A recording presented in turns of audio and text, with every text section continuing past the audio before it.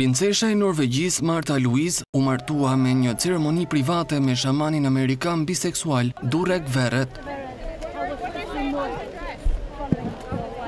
350 ishin të ftuarit në ceremoninë që u mbajt në një fshat piktoresk, Në Norvegjinë Perëndimore, të pranishëm ishin anëtarë të familjes mbretërore norvegjeze dhe suedeze. Për ceremoninë e martesës, ata i shitën të drejtat ekskluzive të imazhit të revistës britanike Hello dhe të drejtat e filmit të rrjetit Netflix. Princesha Martha Louise, pesëdhjetë e dy vjeç, u takua me Durek Verret, dyzet e nëntë vjeç, pasi i prezantoi një mik i përbashkët, duke njoftuar fejesën e tyre tri vite më vonë. Kjo është martesa e dytë për princeshën pesëdhjetë e dy vjeçare, e cila ka tre vajza nga martesa e parë me Ari Behn në periudhën dy mijë e dy, dy mijë e shtatëmbëdhjetë. Në vitin dy mijë e shtatëmbëdhjetë ata u divorcuan, ish-bashkëshorti i saj u vetëvra në ditën e Krishtlindjes pas shumë vitesh me probleme të shëndetit mendor dhe alkoolit. Ndërkohë, princesha humbi titullin mbretëror për shkak të shqetësimeve të publikut. se ajo po përdorte rolin e saj kushtetues për ta ndihmuar atë të fillonte biznesin e saj. Ajo u tërhoq plotësisht nga detyra mbretërore në vitin dy mijë e njëzet e dy, por u lejua të mbajë titullin e saj të princeshës. Tërheqja e saj erdhi pasi Louise kishte ndërtuar shkollën e saj të engjëjve midis vitit dy mijë e shtatë dhe dy mijë e tetëmbëdhjetë. e cila u përshkrua si një qendër terapie alternative që ndihmonte klientët të komunikonin me engjëjt dhe të vdekurit. Po ashtu edhe i fejuari i saj atë kohë e tashmë bashkëshorti Verret, dyzet e nëntë vjeç nga Kalifornia, i cili e quan veten një shaman të gjeneratës së gjashtë, shet medaljone të shtrenjta ari që ai thotë se shpëtojnë jetë. Sipas raporteve midis dy mijë e shtatë dhe dy mijë e pesëmbëdhjetë,